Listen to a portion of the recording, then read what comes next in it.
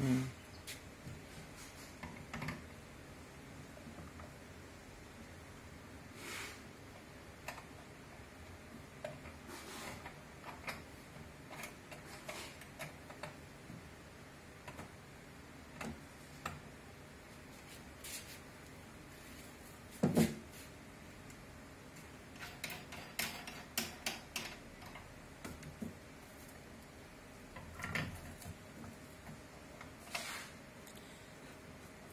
इसी तरीके से चारों सेट आप पूरे लैंप में लगा दीजिए और इसमें चार बल्ब लगेंगे ई सत्ताईस के।